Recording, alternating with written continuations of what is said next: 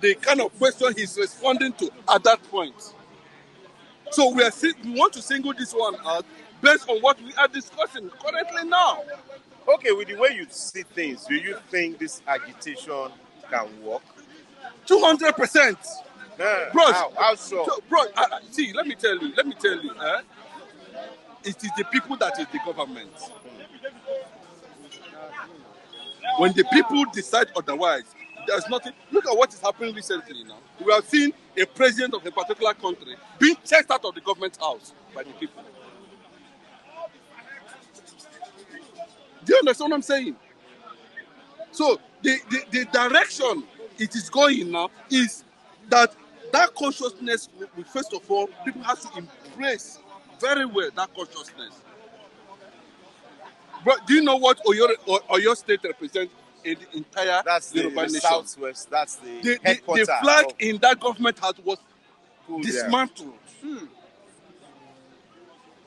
Now, a news just reaching us now is that uh, the hideout of these Yoruba nation agitators has been found. Do you think uh, the government will not go extra mile to deal with? Uh, what are they going to go extra mile? Something that is there, bros. How does it start? It starts with a crack. How does it? If you see a complete building, when it want to fall, how does it? It, it begins with a crack. It does not matter how you look at that crack, whether it will take some time or it will not take some time. There's a crack already. That's what what uh, Tebe was trying to talk about in Things Fall Apart. He said they have put a knife. That knife they put is what we are suffering today. And that things have started falling apart. That is just it. Yes, uh, just to buttress your point, um, David Okafor says in Nigeria things are falling apart. There are no uh, uh, things are no longer at ease. The center cannot hold anymore. To your tents, oh Nigerians.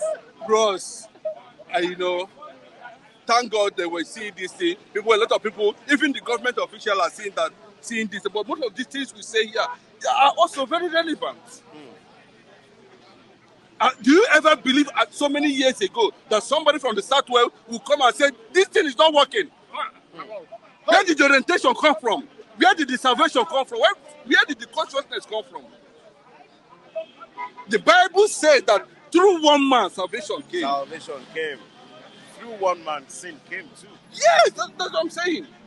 So if, if we have to get things, see, bro, now we know they see as they, they organize them, oh, there are a lot of secret things that is going on. As I'm talking to you today, go and see the development in Niger. Go and see what is happening in Niger. Go and see that these people that put, bro, there are a lot that is going on. And we need to be careful. Because when the conquest will come, you might not be seeing what we, they, those people are seeing. The Yoruba race needs protection too. Not those that have compromised. All these politicians you are seeing today are just there.